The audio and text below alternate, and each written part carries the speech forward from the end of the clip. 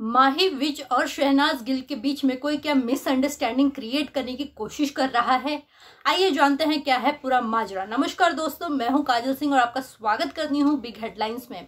दोस्तों, अगर आपको याद होगा तो बिग बॉस सीज़न तेरह में माही विच ने शहनाज गिल की जम के मदद की थी, जम के तारीफें की थी।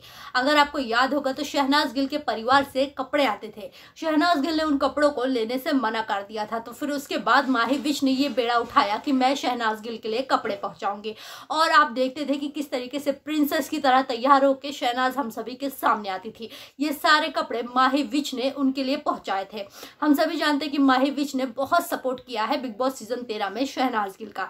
ऐसे में माही विच पे ये आरोप लगे हैं कि माही विच ने शहनाज गिल के कुछ कपड़े जो है गायब कर दिए हैं।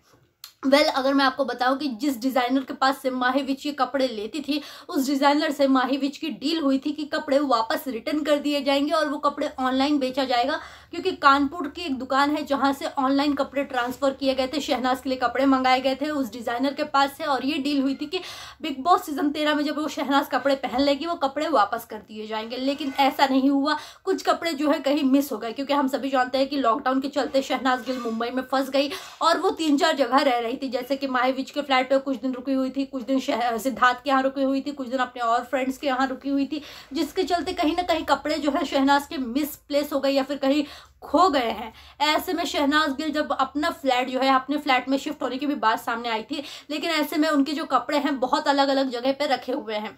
ऐसे में कुछ कपड़े जो है मिसिंग है। वेल ऐसे में डिज़ाइनर से ये भी कह दिया था गिल परिवार ने कि, ठीक है, चलो हम जो कपड़े खो गए हैं, उसके पैसे दे देंगे। लेकिन डिजाइनर्स ने क्या किया? खुद की टीआरपी बढ़ाने के लिए या फिर खुद को प्रमोट करने के लिए फालतू की अफवाहें फैला दी कि माहिविज जो है, हमारा पैसा रिटर्न नहीं कर रही है, कपड़े रिटर्न नहीं कर रही है। इसके बाद जो है माहिविज का स्टेटमेंट आता है, माहिविज कहती है कि मैंने तो साफ़ कह दिया है कि अगर जो कपड़े नहीं मिल रहे हैं, उसका पैसा भी मैं दे दूँगी। लेकिन डिजाइनर्स है कि मानने के लिए तैयार नहीं है। फिर इस पर शहनाज गिल ने अपनी चुप्पी तोड़ी है। शहनाज गिल ने वो डिजाइनर्स को लदार लगाया है और कहा है कि आपके जितने भी पैसे हुए हैं, हम लोग सब कुछ पे कर देंगे, लेकिन आप पैसे घटिया आरोप किसी पे ना लगाइए। वेल, कुछ वेब पोर्टल्स की माने तो शहनाज गिल जो है बहुत भड़की हुई है उन डिजाइनर्स पे और साथ ही साथ माही विच भी बहुत ज़्यादा भड़की हुई है। इसी के साथ साथ मैं आपको ये भी बता दूँ कि ये जो आरोप लग रहे हैं माहिविच के ऊपर ये सारे फालतू के आरोप है। इसमें कोई भी सच्चाई नहीं है। माहिविच ने खुद कहा है कि जितने भी पैसे हैं या फिर जो भी कपड़े कॉस्ट्यूम्स गायब हुए हैं, उनकी पूरी पेमेंट मैं कर दूँगी। तो दोस्तों, ये माजरा हुआ है माहिविश शहनाज और डिजाइनर्स के बीच में।